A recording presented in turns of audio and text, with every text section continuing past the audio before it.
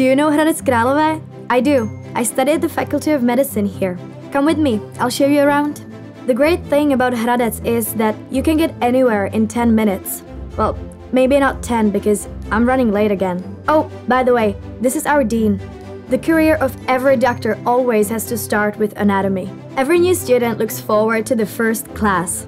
Well, it's not for everyone. Don't be scared though, some of us were able to stay on our feet. After lunch, we usually head to the educational center. We have lectures here, but to be honest, we love to go here to have a cup of coffee and chill out with our friends. And sometimes we have to study too. Studying medicine is definitely not easy, but the relaxed lectures and modern facilities help us a lot. All the books we need we get in our library, and the study materials are passed on from older students. After that, it's plain sailing. You just won't get much sleep until the Christmas break comes. Our university hospital is one of the best in the Czech Republic. That's where we get to pretend we're already doctors. And from the third year on, we're here almost every day.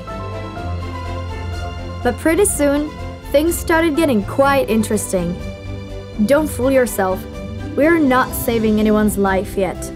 But it's nice to feel important.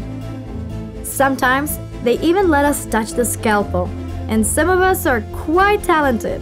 We still have a lot to learn if we don't want to be replaced by robots. It's crucial to be able to switch off and take a break from the studies. If I want to be alone in nature, I don't have to travel anywhere. We even have time for fun, sports, or even other activities. There's always something happening concerts, balls, theater plays, there's culture all around. There aren't many people in our group. Maybe that's what makes it special. At the end of the day, medicine has always been about teamwork, and that's how we treat the school as well.